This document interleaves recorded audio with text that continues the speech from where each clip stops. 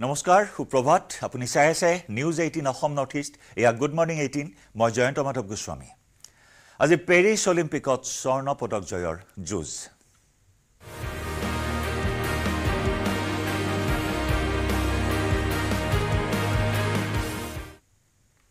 হয় আজি স্বৰ্ণ পদকৰ বাবে যুঁজ দিব ভাৰতীয় মল্ল যুঁজাৰু ভিনেশ ফোগাটে। ভাৰতীয় সময় অনুসৰি নিশা এঘাৰ বাজি তেইছ মিনিটত আমেৰিকাৰ ছাৰা হিল ড্ৰেবাণ্ডৰ মুখামুখি হ'ব ফগাট মহিলাৰ পঞ্চাছ কিলোগ্ৰাম তথা ফ্ৰী ষ্টাইল শাখাৰ চূড়ান্ত খেলত যুঁজত নামিব ভাৰতীয় খেলুৱৈগৰাকীয়ে। মঙলবাৰে পেৰিছ অলিম্পিকত ছেমি ফাইনেলত কিউবাৰ প্ৰতিদ্বন্দ্বীক পাঁচ শূন্যৰ ব্যৱধানত পৰাস্ত কৰি ফাইনেলত প্ৰৱেশ কৰিছিল ভিনেশ ফোগাটে। ইতিমধ্যে ছেমি ফাইনেলত জয়লাভ কৰি ৰূপৰ পদক নিশ্চিত কৰিছে ভিনেশ ফোগাটে। অলিম্পিকৰ ফাইনেলত প্ৰৱেশ কৰা প্ৰথমগৰাকী মহিলা মল্ল যুঁজাৰু ভিনেশ ফোগাট। দুহেজাৰ ষোল্লৰ ৰিঅ' আৰু দুহেজাৰ বিছৰ টকিঅ' অলিম্পিকৰ কোৱাৰ্টাৰ ফাইনেলত পৰাস্ত হৈছিল ভিনেশ ফোগাট। পেৰিছ অলিম্পিকত অভিলেখ ৰচনা কৰি ফাইনেলত প্ৰৱেশ কৰিছে ভিনেশ ফোগাটে।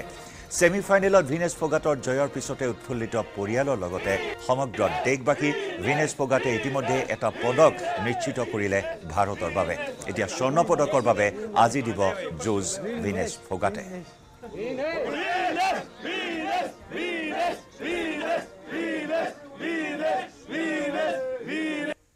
जो पहली फाइट थी जो जो विनेश की जो जापान की गैल तो उसी टाइम जो मेडल का फैसला तो उसी टाइम हो गया था। अभी पूरी आस उम्मीद है जो गोल्ड मेडल लेके आएगी।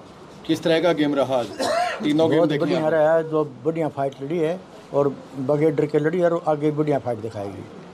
किस तरह यानी खुशी है गाँव में? क्या सारे? गाँव में तो होनी थी परिवार को थी लेकिन सारे देश में खुशी है। आज सभी जो है इसके गोल्ड मेडल की जो है विनेश की बाट देख रहे हैं और ये जो सारे देश की जो दो ओलंपिक पिछले गए उनकी जो है सारी कमी दूर करके मेडल लेके आएगी। विदेश के लिए आशीर्वाद भेजेंगे? बस आशीर्वाद सारी दुनिया का है हिंदुस्तान का है। मेरा मेरा तो मैं तो माँ बाप मेरा तो होना था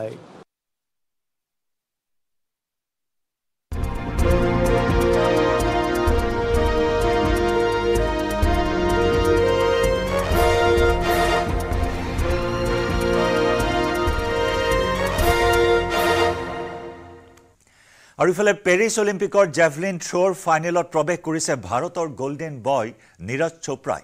মঙলবাৰে গ্ৰুপ বিৰ কোৱালিফিকেশ্যন ৰাউণ্ডত ঊনানব্বৈ দশমিক তিনি চাৰি মিটাৰ বেক থ্ৰ'ৰ দূৰত্ব লাভ কৰি প্ৰথম প্ৰচেষ্টাতে ফাইনেলৰ বাবে যোগ্যতা অৰ্জন কৰে নীৰজ চোপ্ৰাই উল্লেখযোগ্য যে নীৰজ চোপ্ৰাৰ কেৰিয়াৰত এই দূৰত্ব আছিল দ্বিতীয়টো সৰ্বশ্ৰেষ্ঠ দূৰত্ব দুহেজাৰ বাইছ চনত ষ্টকহোম ডায়মণ্ড লীগত ঊনানব্বৈ দশমিক ন চাৰি মিটাৰ চেনচেশ্যনেল থ্ৰ'ৰে ৰাষ্ট্ৰীয় অভিলেখ গঢ়িছিল নীৰজ চোপ্ৰাই পেৰিছ অলিম্পিকৰ পূৰ্বে দোহা ডায়মণ্ড লীগত আঠাশী দশমিক তিনি ছয় মিটাৰ থ্ৰ'ৰে নিজৰ নিপুণতা দেখুৱাইছিল খেলুৱৈগৰাকীয়ে টকিঅ' অলিম্পিকত ভাৰতৰ হৈ সোণৰ পদক লাভ কৰাৰ পিছত জেভলিন ছুপাৰষ্টাৰগৰাকীক লৈ পুনৰ আশাবাদী হৈ আছে ভাৰতবাসী।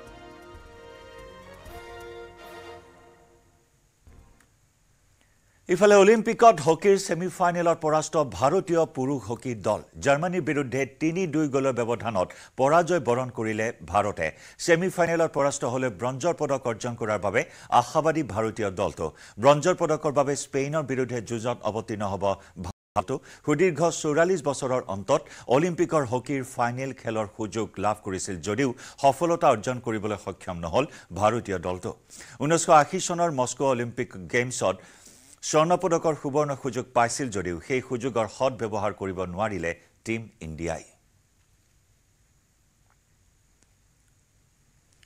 আজি ভাৰত শ্ৰীলংকাৰ মাজত শ্ৰীলংকাৰ শৃংখলাৰ অন্তিমখন আন্তঃৰাষ্ট্ৰীয় এদিনীয়া। শৃংখলাৰ অন্তিমখন মেচত মৰণপণ যুঁজত নামিব টীম ইণ্ডিয়া। এই শৃংখলা হেৰুৱাৰ পৰা ৰক্ষা পৰিবলৈ আজিৰ মেচখনত জয়ৰ গত্যন্তৰ নাই টীম ইণ্ডিয়াৰ। প্ৰথম দুখন মেচত কলম্বোৰ স্পিন সহায়ক উইকেটত মুখ ঠেকেচা খাইছিল ভাৰতৰ তাৰকা খচিত বেটিং লাইন আপ স্পিন খেলাৰ মাষ্টাৰ ক্লাছ বোলা হয় ভাৰতীয় বেটিঙক। কিন্তু শ্ৰীলংকাৰ স্পিনৰ সন্মুখত তিষ্ঠিব নোৱাৰিলে ভাৰতৰ বেটছমেনসকলে। শ্ৰীলংকাৰ প্ৰথম শৃংখলাৰ প্ৰথমখন মেচ টাই হৈছিল। দ্বিতীয়খন এদিনীয়া মেচত লজ্জাজনক পৰাজয়ৰ সন্মুখীন হৈছিল ৰোহিত বাহিনী। ইপিনে তৃতীয় মেচত ভাৰতীয় দলৰ প্ৰথম একাদশ কেনে হ'ব তাক লৈ চলিছে চৰ্চা। ক্ৰিকেট বিশেষজ্ঞসকলে ধাৰণা কৰা অনুসৰি অন্তিম মেচত দলত কেইবাটাও পৰিৱৰ্তন হ'ব পাৰে। জয়ৰ বাবে পূৰ্ণ শক্তিৰ দল লৈয়ে নামিব ভাৰতীয় দল। আজি ভাৰতীয় দলত পৰিৱৰ্তন হ'ব পাৰে উইকেট কিপিঙত প্ৰথম দুখন মেটছত খেলিছিল কে এল ৰাহুলে। অন্তিম মেটছত ঋষভ পন্তক সুযোগ দিয়া হ'ব পাৰে। ইয়াৰ উপৰিও শিৱম ডুবেৰ সলনি খেলিব পাৰে ৰিয়ান পৰাগে। যাৰ ফলত স্পিন অপশ্যনো বাঢ়িব ভাৰতৰ। তৃতীয় এদিনীয়া মেটছত ভাৰতৰ সম্ভাৱ্য একাদশ হৈছে অধিনায়ক ৰোহিত শৰ্মা সহ অধিনায়ক শুভমান গিল বিৰাট কোহলি ঋষভ পন্ত অথবা কে এল ৰাহুল শ্ৰেয়াছ আয়াৰ ৰিয়ান অথবা শিৱম ডুবে ৱাশ্বিংটন সুন্দৰ অক্ষৰ পেটেল কুলদীপ যাদৱ অৰ্ষদীপ সিং মহম্মদ সিৰাজ অন্তিম মেটছতো কলম্বোৰ উইকেট স্পিনাৰৰ সহায়ক হ'ব আৰু কম ৰাণৰ খেল হ'ব বুলিয়েই ধাৰণা কৰিছে ক্ৰিকেট বিশেষজ্ঞসকলে। কিন্তু পৰাজয়ৰ পৰা শিক্ষা লৈ চন্দ্ৰলৈ উভতি অহাৰ ক্ষেত্ৰত আত্মবিশ্বাসী ভাৰতীয় ক্ৰিকেট দল। কলিয়াবৰত পুনৰ বাঘৰ আতংক।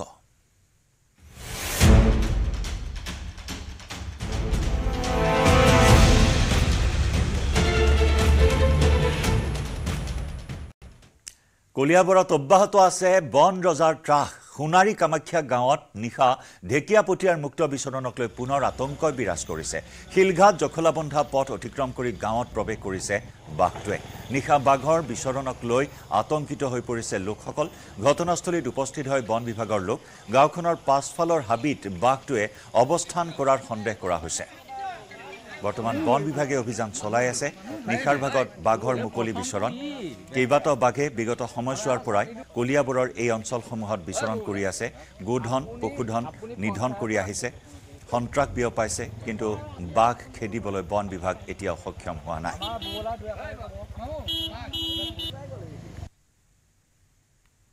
শিলঘাট জখলা সংযোগী পথৰ কাষতে এটা ঢেকীয়াপতীয়া বাঘ ওলাল। তাকে আমি চাৰি পাঁচজনে প্ৰত্যক্ষ কৰিলোঁ। আৰু এই বাঘটোৱে আপোনাৰ এই দুই চাৰিদিনৰ আগত কেইবাটাও গৰু মাৰিছে। আৰু এতিয়া মোৰো এজনী গৰু মাৰিলে দেওবাৰৰ দিনা আবেলি। আৰু আপোনাৰ এতিয়া যিটো হৈছে আপোনাৰ ৰাতি মানুহ থাকিবলৈও ভয়। আৰু আপোনাৰ গোহালি ঘৰত মানে গৰু মাৰে বুলিও আমাৰ এতিয়া সন্দেহ। আৰু চৰকাৰক এইটোকে আহ্বান কৰোঁ ইয়াতো ফৰেষ্টৰ আৰু দি আমাক অকণ উপকৃত কৰক। বাঘটো ধৰি লওক সিফালেতো আছেই কিন্তু এতিয়া বাঘটো আহি পেলাই গাঁও পালেহি। দিনততো আপোনাৰ ৰক্ষা নায়েই ধৰি লওক আৰু মেলি নিয়াৰ পিছতে কেতিয়াবা মাৰি দিয়ে আৰু কেতিয়াবা আবেলি গৰু অহাৰ সময়ত সাপ লৈ মাৰি দিয়ে আৰু মানুহৰ মাজতো সি ভয় নকৰে বাঘটোৱে কিন্তু এতিয়া গাঁৱত যেতিয়া আহি গ'ল বাঘটো সিটো ৰাতি গোহালিত এই হওক বা চোতালতে বান্ধি থোৱা গৰু হওক গৃহস্থ সময়মতে যদি দেখা পালেতো দেখা পালে দেখা নাপালেতো আৰু গৰু মাৰি দিব। ডিফুৰ আমোলাপট্টিত আৰক্ষীৰ গুলীচালনা। প্ৰতিবাদকাৰীক বাধা দিবলৈ আৰক্ষীৰ গুলী। লাঠিচাৰ্জৰ লগতে গুলীচালনা কৰাত ডিফুত তীব্ৰ উত্তেজনাই বিৰাজ কৰে। উচ্ছেদৰ দাবীৰে দল সংগঠনে উলিয়াইছিল প্ৰতিবাদী সমদল। কাৰ্বি আংলঙৰ P G R V G R ভূমিত উচ্ছেদৰ দাবী প্ৰতিবাদকাৰী ডিফুৰ বিৰলাৰ পৰা উলিওৱা হৈছিল প্ৰতিবাদী সমদল। প্ৰতিবাদকাৰীৰে হোৱা সংঘৰ্ষত আহত হয় নগৰাকীকৈ আৰক্ষীৰ লোক।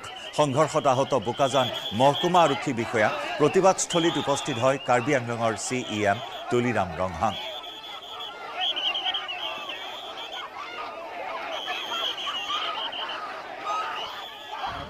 K S A চিমিট গ্ৰুপ লগতে কিছু আৰু সংগঠনে এটা P G R P G R এডিকশ্যনৰ সংক্ৰান্তে এটা আন্দোলনৰ কাৰ্যসূচী হাতত লৈছিলে আৰু সেইটো ষ্টেট কমিশ্যনাৰে পাৰ্মিশ্যন দিছিলে সেইটো।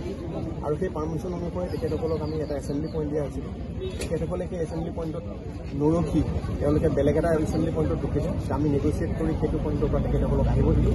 এটা পইণ্টলৈকে ডিচাইড হৈছিল যে মাটিপুং পইণ্টলৈকে যাব।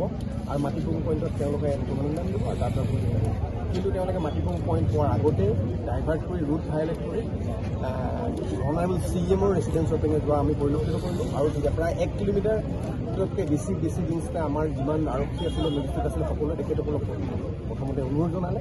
কিন্তু যেতিয়া অনুৰোধ জনোৱাৰ পিছতো তেখেতসকলে পৰ্যায়ক্ৰমে বেছি ভায়লেণ্ট হৈ গৈ থাকিলে অৱশেষত আমি ফ'ৰ্চ ব্যৱহাৰ কৰিবলৈ আমি বাধ্য হ'লোঁ আমি তেখেতসকলক কৰিবলৈ আমাৰ প্ৰায় নজনমান আৰক্ষী বিষয়া এছ ডি পি অ' বোকাজানকে আদি কৰি কনষ্টেবল সাতজনমান আমাৰ আহত হৈছে। আজি তৃতীয় দিনাও গুৱাহাটীৰ কিছু কিছু অঞ্চলত অব্যাহত আছে কৃত্ৰিম বান।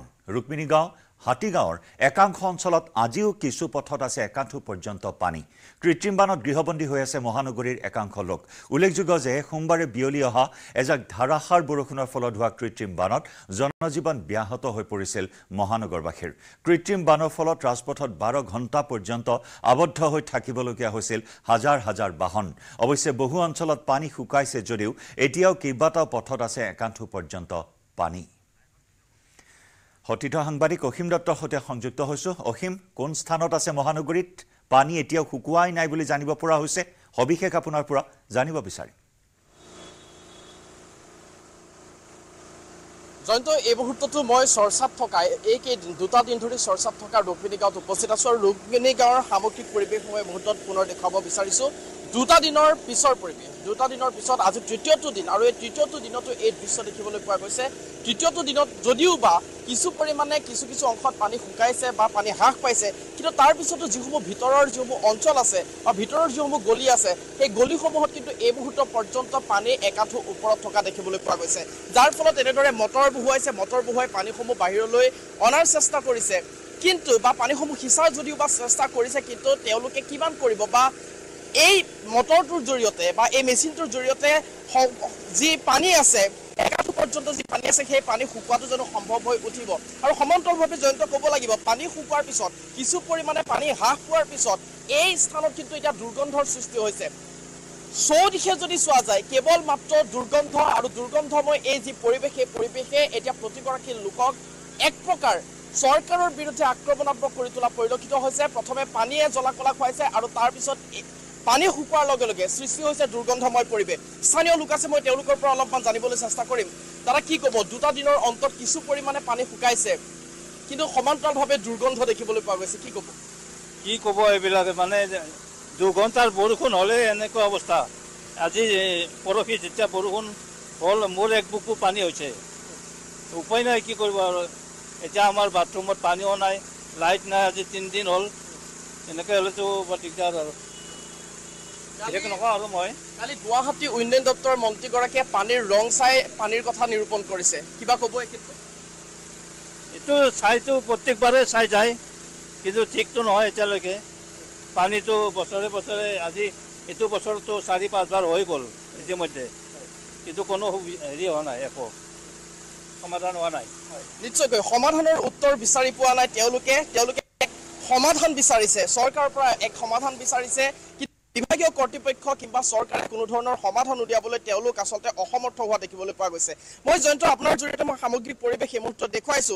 পানী কিছু পৰিমাণে যদিও বা শুকাইছে ভিতৰৰ অঞ্চলসমূহত পানী বৰ্তমানো আছে একাঠু পৰ্যন্ত পানী আছে। আৰু তাৰ মাজতে এই যিটো মূল পথ এইটো মূল পথ যদি আমি দেখুৱাওঁ এইটো আগলৈ জি এছ ৰোড আৰু তাৰ সন্মুখ ভাগৰ এই যি পৰিৱেশ সেই পৰিৱেশটো চাওক কেনে পৰিৱেশ সৃষ্টি কৰিছে দেখিলেই গম পোৱা যায় দেখিলে ধৰিব পাৰি যে কেনে দুৰ্গন্ধময় পৰিৱেশৰ সৃষ্টি হৈছে।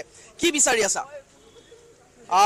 মই দেখুৱাইছো সেই সামগ্ৰিক পৰিৱেশ আৰু কেইজনমান লোক আছে মই তেওঁলোকৰ ওচৰলৈও যাম। দাদা কি বিচাৰিছে? পাৰ্চ পৰিছে গাড়ীৰ ইনোভাখনত চাবিটো পৰিছে পালো এই পাৰ্চটো পাইছো চাবিটো পোৱা নাই পইচা চবতে পানী শুকাইছে পানী শুকোৱাৰ পিছত দুৰ্গন্ধময় পৰিৱেশ দেখিবলৈ পোৱা গৈছে। অঁ এতিয়া আপোনাৰ পইচা আমাৰ পাৰ্চটো আপোনাৰ হেৰাই গৈছিল আমাৰ।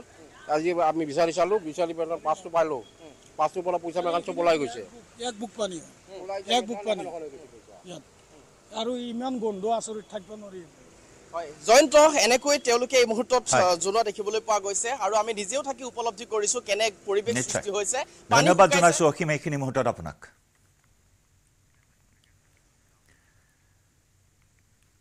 আৰু গুৱাহাটীৰ এই কৃত্ৰিম বানৰ বাবে মেঘালয়ক দোষাৰোপ কৰিলে গুৱাহাটী উন্নয়ন মন্ত্ৰী অশোক সিংঘালে। মেঘালয়ত হৈ থকা বিভিন্ন প্ৰকল্প নিৰ্মাণ পাহাৰ খননৰ বাবেই ৰঙা পানীৰে কৃত্ৰিম বানৰ সৃষ্টি হোৱা বুলি অদ্ভুত মন্তব্য কৰিলে মন্ত্ৰী অশোক সিংঘালে। মানে পানী যে মেঘালয়ৰ পৰা আহে মেঘালয়ৰ পানীক আমি এতিয়ালৈ কণ্ট্ৰল কৰিব মেঘালয়ৰ অহা পানীৰ পৰা সমস্যা হ'ল। চিটিত যদি নলা নৰ্দমাৰ পৰা পানী ওলায় এই পানীৰ ৰংটো ক'লা থাকে। কালি যিটো পানী আছিলে সেইটো চিল্ক লৈ আহিছে মাটিৰ পানী ৰঙা মানে মাটিৰ পানী। তাত দেখাতে মানে গম পাই যে গুৱাহাটীৰ পানী নহয় বাহিৰৰ পৰা মেগনিটিউড যিটো আছে তাত আমি বিফল হৈছোঁ যিমান পৰিমাণৰ পানী আহিছে সেইটো হেণ্ডেল কৰিব নোৱাৰোঁ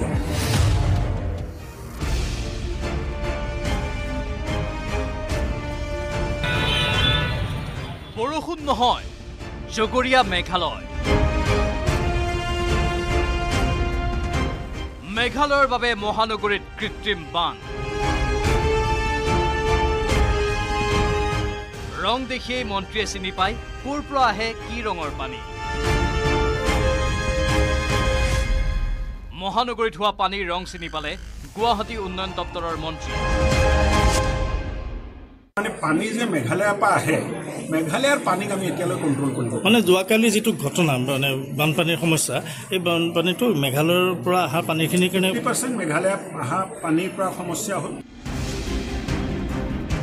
মন্ত্ৰীজনৰ মতে মহানগৰীৰ পানী ক'লা মেঘালয়ৰ পৰা অহা পানী ৰঙা। এজাক বৰষুণো গুৱাহাটীয়ে সহিব নোৱাৰা বুলি উঠা সমালোচনা খণ্ডন কৰি গুৱাহাটী উন্নয়ন মন্ত্ৰীৰ দাবী গুৱাহাটীত হোৱা পানীৰ আধাতকৈ বেছি পানী আহিছে মেঘালয়ৰ পৰা। পানীখিনিৰ কাৰণে ফিফটি পাৰ্চেণ্ট মেঘালয়ত অহা পানীৰ পৰা সমস্যা হ'ল। কিয়? পানীৰ কালাৰ চিটিৰ পানী যেতিয়া থাকিব পানীৰ কালাৰটো ক'লা থাকিব। চিটিত যদি নলা নৰ্দমাৰ পৰা পানী ওলায় এই পানীৰ ৰংটো ক'লা থাকে। কালি যিটো পানী আছিল এইটো চিল্ক লৈ আহিছে মাটি পানী ৰঙা মানে মাটিৰ পানী। তাত দেখাতে মানে গম পায় যে গুৱাহাটীৰ পানী নহয় বাহিৰৰ পৰা পানী।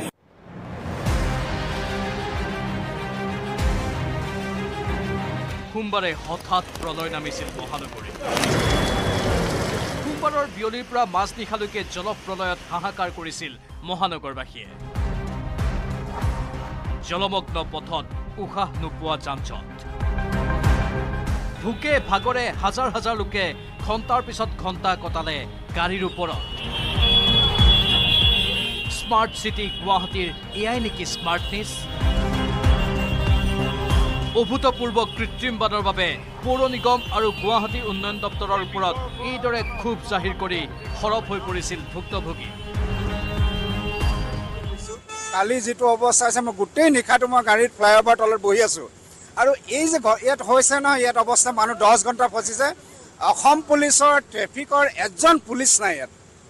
এজন পুলিচ নাই আচৰিত কথা। যদি মানুহে পুলিচখিনি আহি পিনে মানুহখিনি অকণমান যদি তাতে আহি গাইড কৰি দিলে যে আপোনালোকে এইফালে নাযাব এইফালে হাৰাশাস্তি খাইছে। মই গোটেই নিশাটো টোপনি ক্ষতি কৰি আছোঁ। অসুখ মানে মই প্ৰেগনেঞ্চিত আছো। মোৰ এই নাইন মান্থ সোমাব এতিয়া।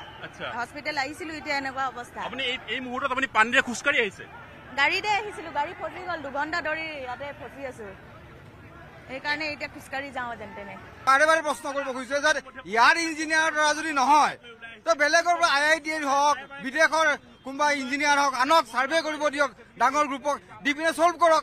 এইটো কি সদায় নাটক লৰা ধেমালি ইয়াত মানুহৰ বিজনেছ বন্ধ হৈ গৈছে মানুহৰ ঘৰত সম্পত্তি নষ্ট হৈ গৈছে গাড়ী ঘোঁৰা বেয়া হৈ গৈছে সেই ক্ষতিপূৰণ কোনে দিব? এই কৃত্ৰিম বানৰ বাবে চৰকাৰকো জগৰীয়া কৰিছে বিৰোধী দল তথা জাতীয় সংগঠন। লাজ লাগিছে। গুৱাহাটীৰ ৰাস্তাৰ ৰা- ৰাজপথত ৰাবাৰ বোট চলা দেখি আমাৰ লাজ লাগিছে। আজি এই অৱস্থা। আজি আজি মই কৈছো জি এম ডি মন্ত্ৰী তেওঁ ইমিডিয়েটলি পদত্যাগ কৰক। আজি আজি অশোক সিংহালক কিয় সাহ- সাহস হোৱা নাই? আমাৰ আমাৰ সন্মুখামুখি হ'বলৈ ৰাইজৰ সন্মুখামুখি হ'বলৈ কিয় সাহস নাই? কাৰণ তেওঁলোকে হাজাৰ হাজাৰ কোটি টকা স্মাৰ্ট চিটি নিমিত্তত আমাৰ সেই কোটি কোটি টকাবোৰ ক'ত খৰচ কৰিলে? পিছে গুৱাহাটী উন্নয়ন দপ্তৰৰ মন্ত্ৰী অশোক সিংঘালৰ দাবী বৰষুণৰ বাবে নহয় মেঘালয়ৰ বাবেহে হেনো মহানগৰীত কৃত্ৰিম বান আনকি গুৱাহাটীৰ নলা নৰ্দমাই বেছি পানী বহন কৰিব নোৱাৰাৰ অকপট স্বীকাৰোক্তিও দিলে নিৰ্লজ্জভাৱে।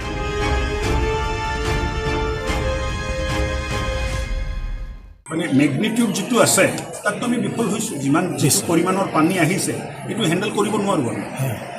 গুৱাহাটীৰ নলা নৰ্দমাৰ যিটো ছিষ্টেম আছে সেইটো এটা ভলিউম কনচিডাৰ কৰিব নোৱাৰা হৈছে।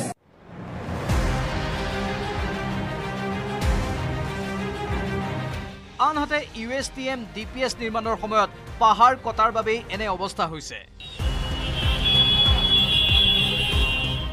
মেঘালয়ৰ পৰা অহা পানী শিলসাকু আৰু দীপৰ বিললৈ ডাইভাৰ্ট কৰাৰ চেষ্টা চলাই থকা বুলি সদৰি কৰিলে মন্ত্ৰীগৰাকীয়ে। এই মেঘালয়ৰ পৰা অহা পানীটো শিলচাকু আৰু দীপৰ বিললৈ ডাইভাৰ্ট কৰাৰ এটা পৰিকল্পনা চলি আছে।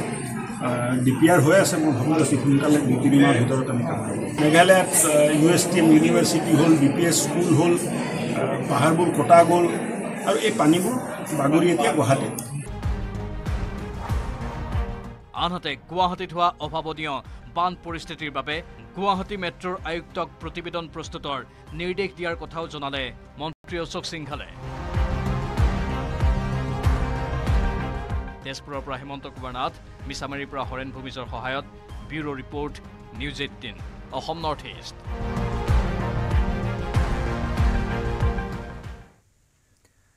গুৱাহাটীৰ কৃত্ৰিম বানক লৈ মুখ্যমন্ত্ৰীৰ পৰ্যালোচনা বৈঠক। আৰক্ষী প্ৰশাসনৰে বৈঠক মুখ্যমন্ত্ৰী ডক্টৰ হিমন্ত বিশ্ব শৰ্মাৰ। কৃত্ৰিম বান ৰোধক লৈ বৈঠকত আলোচনা মুখ্যমন্ত্ৰীৰ। কৃত্ৰিম বান ৰোধক লৈ মেঘালয় চৰকাৰেৰেও আলোচনা। সোমবাৰে ৰিভৈ জিলাত হৈছিল অভিলেখ হাৰত বৰষুণ। সোমবাৰে ৰিভৈ জিলাত হৈছিল এশ মিলিমিটাৰ বৰষুণ। গুৱাহাটীত সোমবাৰে হৈছিল ষাঠি মিলিমিটাৰ বৰষুণ। খানাপাৰাত হৈছিল সৰ্বাধিক এশ বত্ৰিছ মিলিমিটাৰ বৰষুণ। নব্বৈ মিনিট ধৰি অহা বৰষুণে প্লাৱিত কৰিছিল গুৱাহাটী। প্ৰবল বৃষ্টিপাতৰ ফলতে জলমগ্ন হৈ পৰে গুৱাহাটী।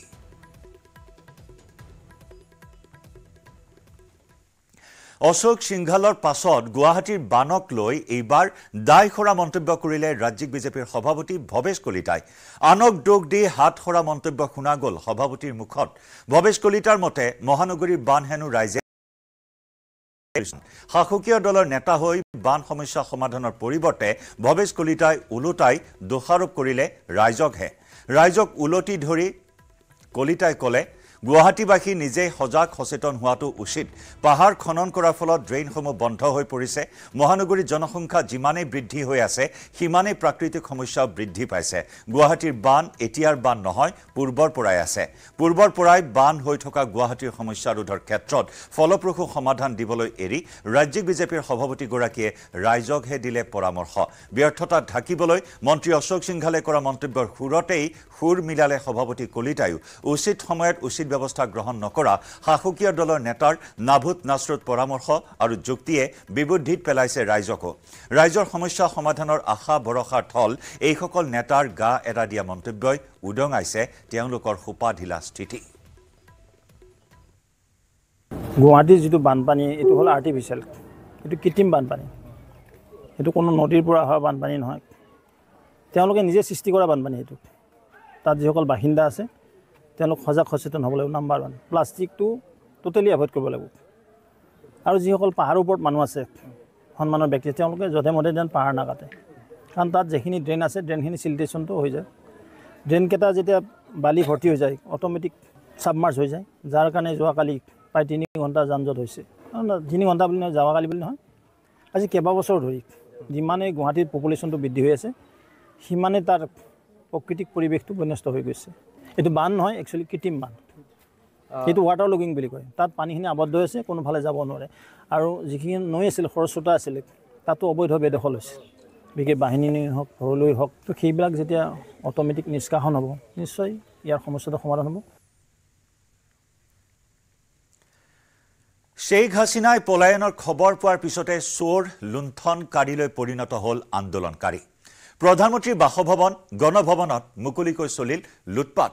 বাসভৱনৰ পৰা এপদ এপদকৈ সকলো সম্পদ উঠাই নিলে আন্দোলনকাৰীয়ে।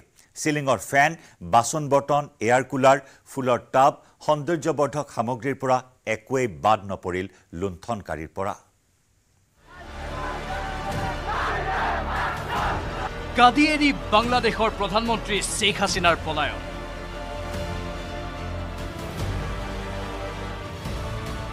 তাৰ পিছতেই উল্লাসত মতলীয়া আন্দোলনকাৰী।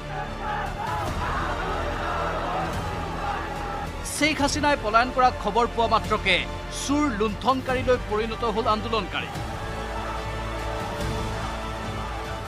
প্ৰধানমন্ত্ৰীৰ বাসভৱন গণভৱনত মুকলিকৈ চলিল লুটপাট। বাসভৱনৰ পৰা এপদ এপদকৈ কিদৰে সকলো সম্পদ লুণ্ঠনকাৰীয়ে বাহিৰ কৰিলে চাওক।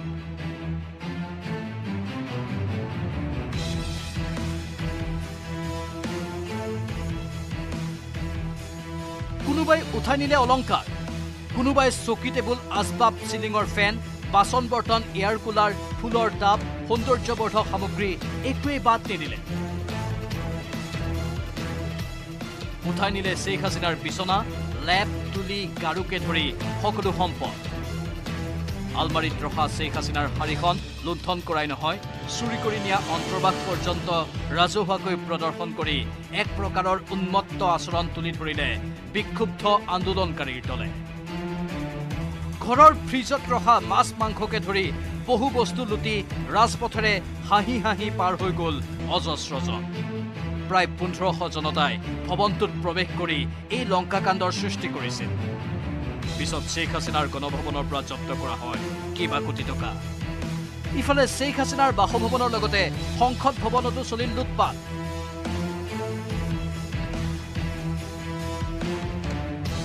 সংসদ ভৱনৰ ছাদত উঠি আন্দোলনকাৰীয়ে প্ৰদৰ্শন কৰিলে উল্লাস। সংসদ ভৱনৰ অধিৱেশন কক্ষত সাংসদৰ আসনত বহি চিগাৰেট হুপি চেলফি তুলি উদ্ভণ্ডালি প্ৰদৰ্শন কৰাত মগ্ন হ'ল আন্দোলনকাৰী গেঙৰ সদস্য। সংসদ ভৱনৰ বিভিন্ন কক্ষত সোমাই লণ্ডভণ্ড কৰাৰ লগতে নাচি গাই হুলস্থুলীয়া পৰিৱেশ ৰচি। দলটোৱে প্ৰকট কৰিলে হৰ্ষোল্লাস ইফালে সংসদ ভৱনৰ নিৰাপত্তা কৰ্মীসকলৰ পৰা আন্দোলনকাৰী জনতাই চল্লিছটা অস্ত্ৰ লুটি নিয়াৰ তথ্য প্ৰকাশ পাইছে। লুটি নিয়া সকলো অস্ত্ৰ শিক্ষাৰ্থীসকলে চমজি লৈ ঘূৰাই দিয়া বুলি প্ৰকাশ পাইছে। International desk news eighteen Assam north east. আমি পুনৰ আহিছোঁ গুৱাহাটী মহানগৰীৰ কৃত্ৰিম বান প্ৰসংগলৈ। ইতিমধ্যে আমি জনাই আছোঁ আপোনাক আজি তৃতীয় দিনটোতো গুৱাহাটীৰ কিছু কিছু ঠাইত পানী শুকুৱাই নাই। এতিয়াও ঠায়ে ঠায়ে একাঠু পৰ্যন্ত পানী ৰুক্মিণী গাঁও হাতীগাঁৱৰ একাংশ অঞ্চলত আজিও কিছু পথত একাঠু পৰ্যন্ত পানী আছে। একাংশ অঞ্চলত তিনিদিনে ব্যাহত হৈ আছে বিদ্যুৎ সংযোগ যাৰ ফলত এতিয়া তীব্ৰ পানীৰ সংকটত ভুগিছে একাংশ লোকে। আনহাতে পানীৰ দুৰ্গন্ধত এতিয়া অতিষ্ঠ হৈ পৰিছে অঞ্চলবাসী। ৰুক্মিণী গাঁৱৰ পৰিৱেশ আমাক দেখুৱালে। ইতিমধ্যে আমাৰ সতীৰ্থ সাংবাদিক অসীম দত্তই। আন এগৰাকী সতীৰ্থ সাংবাদিক প্ৰিয়ব্ৰত গগৈৰ সৈতে সংযুক্ত হৈছোঁ। প্ৰিয়ব্ৰত আছে হাতীগাঁৱত। প্ৰিয়ব্ৰত আজি তৃতীয় দিনটোত কি অৱস্থা? হাতীগাঁৱৰ কৃত্ৰিম বানৰ।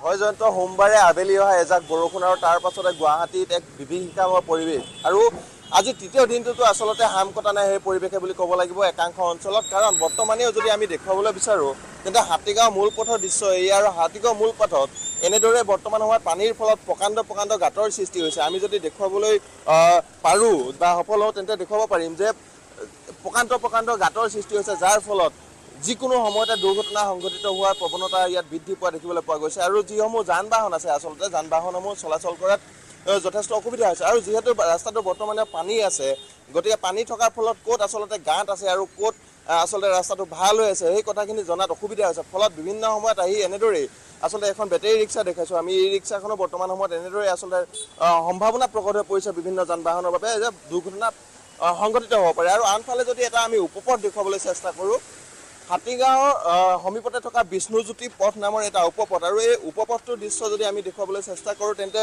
এই দৃশ্য বৰ্তমান সময়ত এনেদৰেই পেন কোচাই আচলতে কোনোবা কলেজলৈ আহিছে কোনোবা নিজৰ কৰ্মস্থলীলৈ আহিছে এনেদৰে বৰ্তমান সময়ত আহ যাহ কৰিবলগীয়া আছে সমগ্ৰ অঞ্চলটোত। কেৱল এইটো উপপথ বুলিয়ে নহয় ইয়াৰ আশে পাশে থকা যিমানকেইটা আচলতে উপপথ আছে বা যি মূল পথটো আছে মূল পথটোৰ বিভিন্ন অংশত বৰ্তমান সময়ত পানী দেখিবলৈ পোৱা গৈছে। তাৰ সমান্তৰালকৈ যিসমূহ উপপথ আছে আচলতে উপপথসমূহতো বৰ্তমান সময়ত এনেদৰে পানীৰ বিভীষিকা এক প্ৰকাৰ দেখিবলৈ পোৱা গৈছে। আৰু যি আচলতে যি পানীৰ ফলত যোৱা দুই তিনিদিন ধৰি পানী হৈ আছে আৰু তাৰ ফলত যি আচলতে দুৰ্গন্ধময় যি কদৰ্যময় পৰিৱেশৰ সৃষ্টি হৈছে গতিকে বৰ্তমান সময়ত গোটেই অঞ্চলটোতে পৰিৱেশটো বিনষ্ট হৈ পৰিছে। দাদা অকণমান আপোনাৰ ওচৰলৈ আহিছোঁ।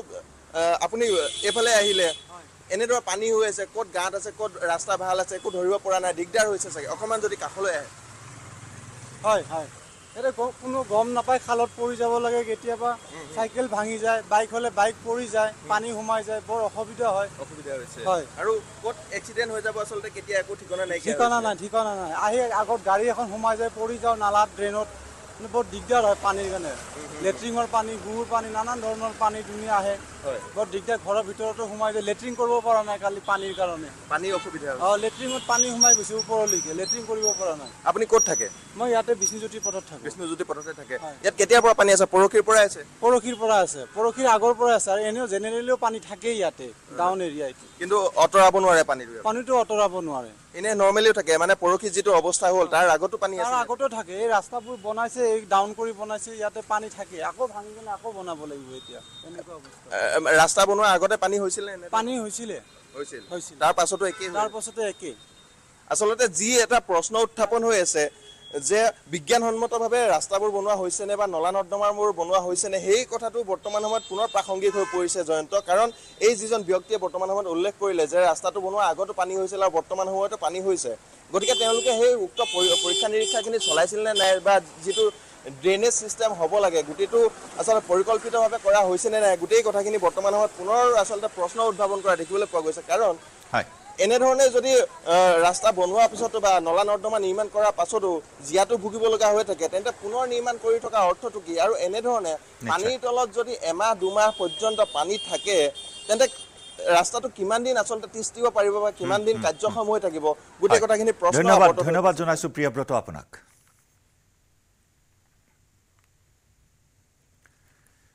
বাংলাদেশত উত্তেজিত প্ৰতিবাদকাৰীয়ে জ্বলাই দিলে ইন্দিৰা গান্ধী সাংস্কৃতিক কেন্দ্ৰ। ইন্দিৰা গান্ধী সাংস্কৃতিক কেন্দ্ৰৰ লগতে বংগবন্ধু স্মাৰক সংগ্ৰহালয়তো অগ্নিসংযোগ কৰে দুৰ্বৃত্তই। বাংলাদেশৰ ৰাজধানী ঢাকাৰ ধনমন্দি অঞ্চলত সংঘটিত হয় এই হিংসাত্মক ঘটনা। ঢাকাৰ বিভিন্ন স্থানত প্ৰতিবাদকাৰীয়ে সংঘটিত কৰে অগ্নিসংযোগ।